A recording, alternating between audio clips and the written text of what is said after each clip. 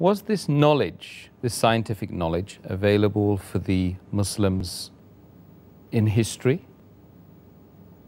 As far as the earlier Muslims are concerned, some of the facts were known, some were not known, not in the same way as we have come to know by research today.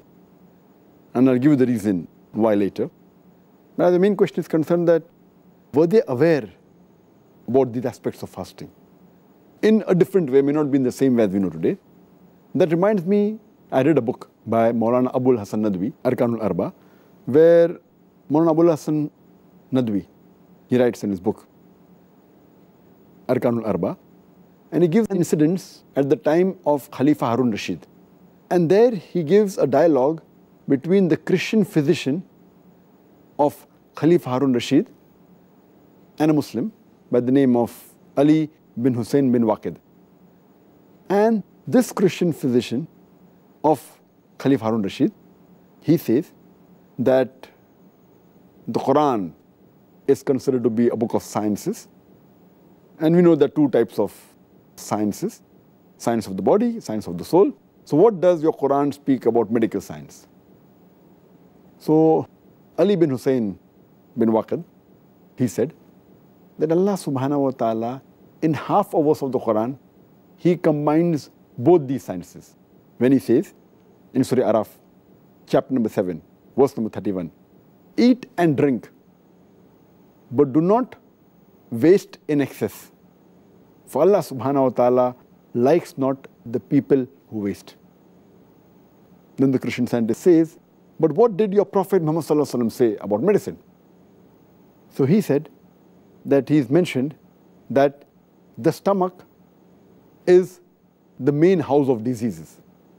And prevention is the best thing for ailment. And prevention is better than cure. And as I mentioned, our beloved Prophet said, it's mentioned in Ibn Majah, volume number 4, hadith number 3349. The Prophet said, The son of Adam does not fill a vessel more worse, more evil than the stomach a few morsels are sufficient to keep him on his feet.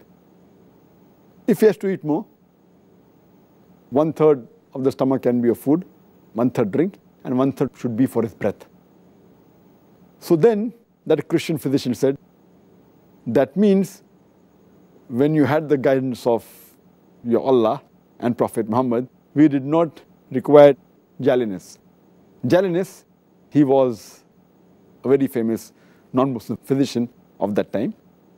So what the Prophet and Allah say is a telegraphic message, which we have done research today. But the Prophet also already has given in a nutshell the message before. And in that same book, Arkanul Arba, Maulana Abul Hasan Nadwi, he mentions and he gives the example of another non-Muslim scientist who's an American. He says that every human being, whether poor or rich, he should fast for some days every year. It will keep him healthy. And then he says that Islam is the best religion, which has made it compulsory on his followers to fast. And he said that Prophet Muhammad, peace be upon him, was the best physician who has prescribed fasting. And he said that there's no better healthy way than fasting, and after that tarawih, in which you have to do some exercise, according to him, which helps in digestion. So if you realize that the non-Muslim appreciated the religion of Islam after doing research. Though many of the Muslims are aware about the medical benefits of fasting, but we Muslims, we don't fast for these medical benefits. We fast for sake of Allah subhanahu wa ta'ala, for the pleasure of Allah subhanahu wa ta'ala. We don't fast for the medical benefits. These medical benefits are ancillary. Yeah. Or they may be the maybe sweet dishes, maybe the dessert. Our main biryani, our main meal course is for pleasure of Allah subhanahu wa ta'ala, which we discussed in the objective of fasting. We don't fast for medical benefits. Even if these medical benefits were not there, we Muslim would have fasted for Allah subhanahu wa ta'ala. But as whatever we do for Allah subhanahu wa ta'ala, Allah gives us back in return. So all the acts that we do, it actually benefits us in various ways in this world as well as in the akhirah. But we Muslims don't fast for these medical benefits.